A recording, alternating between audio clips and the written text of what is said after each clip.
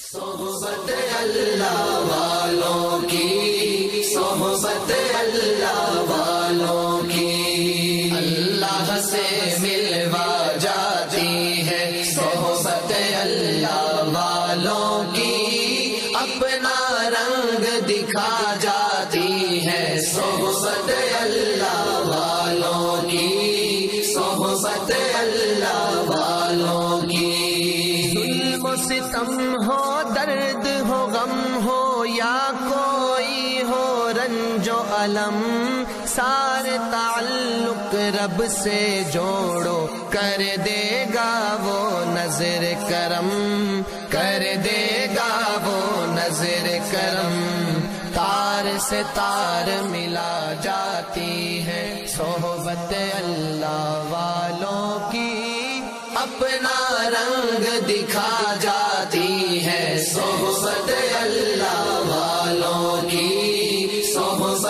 अल्लाह वालों की। निगाह। ज़िक्र हक की फ़िक्र हक की सच्ची लगन मिल जाती है।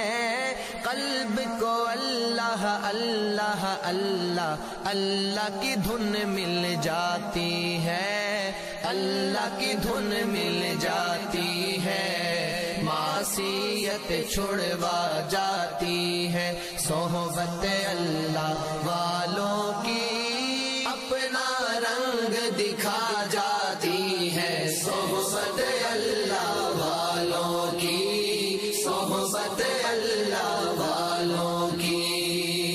हक सफीर है ये, बदरे मुनीर है ये, रोशन दिमाग है ये, रोशन जमीर है ये।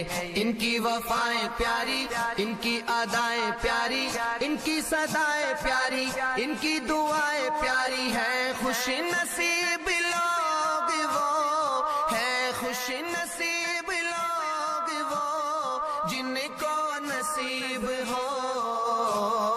सोहबत अल्लाह वालों की सोहबत अल्लाह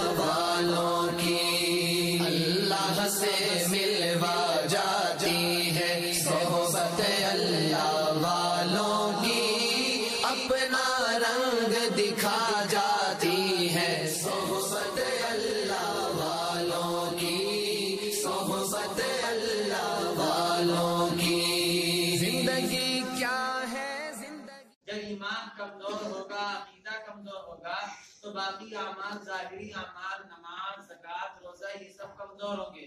असल चीज़ ये है कि ईमान और अकीदा है। ईमान का ताल्लुक वो दिल से है और दिल से जो ताल्लुक रखता है, उसे बोलते हैं सफीर है ये, बदरे मुनीर है ये, रोशन दिमाग है ये, रोशन जमीर है ये।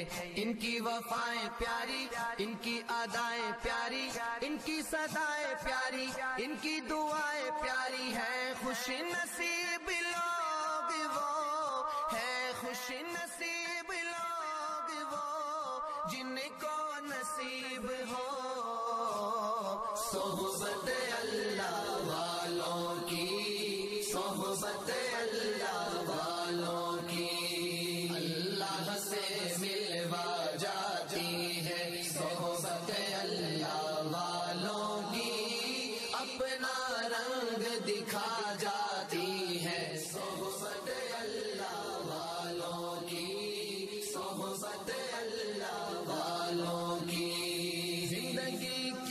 शैतानी गाँव से हार जाता है, हर जगह लाहौल उस पर भेजा जाता है, हर जगह लाहौल खाता है।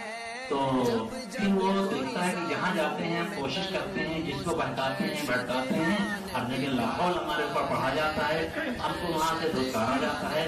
तो फिर वो शैतानी काम छोड़ करके बल्कि नूरानी काम लगा देता है। फिर नूरानी काम को आदमी, नूरानियत समझ करके कबूल कर लेता है। तो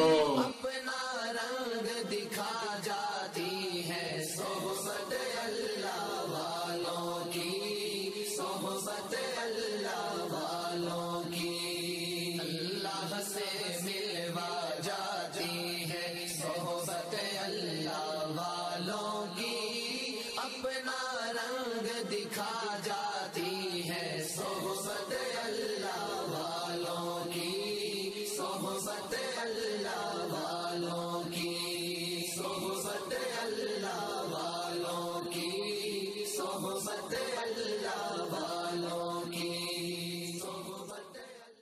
किसी कलाम पर, यानी किसी किताब पर शक और शुबा होता है तो दो बुनियाद पे होता है।